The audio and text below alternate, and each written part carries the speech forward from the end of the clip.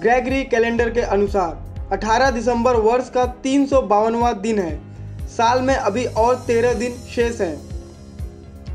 18 दिसंबर की महत्वपूर्ण घटनाएँ 18 दिसंबर 1271 मंगोल शासक कुबलई खान ने अपने साम्राज्य का नाम युआन रखा और यहीं से मंगोलिया और चीन में युआन वंश की शुरुआत हुई। 18 दिसंबर सत्रह सौ सतासी, अमेरिकी संविधान को स्वीकार करने वाला न्यू जर्सी तीसरा राज्य बना।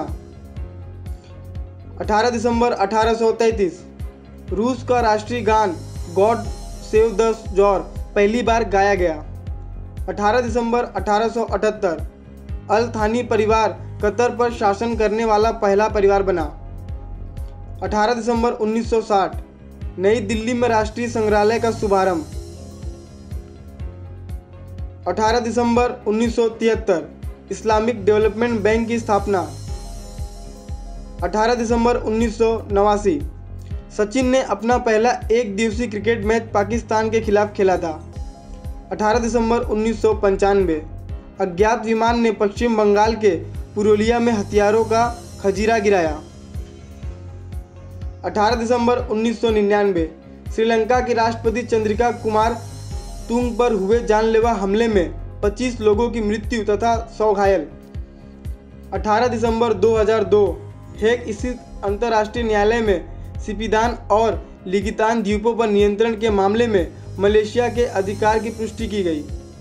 18 दिसंबर 2005 भूटान नरेश जिग्मे वाचुंग के 2008 में गद्दी छोड़ देने की घोषणा की। 18 दिसंबर 2006 मलेशिया में बाढ़ से कम से कम 118 लोगों की मौत तथा चार से लाख से अधिक लोगों बेघर। 18 दिसंबर 2007 जापान ने इंटरसेप्टर मिसाइल पर परीक्षण किया। 18 दिसंबर 2008 ब्रह्मोस सुपरसोनिक क्रूज मिसाइल का सफल परीक्षण हुआ। 18 दिसंबर 2015 ब्रिटेन के कोयला खदान केलिंगले केलियरी को बंद किया गया। 18 दिसंबर 2017 राष्ट्रमंडल कुश्ती चैंपियनशिप में भारत ने जीते 30 में से 29 स्वर्ण। 18 दिसंबर 2014 सबसे भारी रॉकेट जीएसएलवी मार्क थ्री का सफल प्रक्षेपण हुआ। 18 दिसंबर को जन्म चर्चित व्यक्ति। 18 दिसंबर अठारह सौ सतासी, भिखारी ठाकुर, भोजपुरी के समर्थक लोक कलाकार। 18 दिसंबर सत्रह गुरु घासीदास, भारत के छत्तीसगढ़ राज्य के संत परंपरा के सर्वोपरि माने जाने वाले संत 18 दिसंबर को हुए दुखद निधन।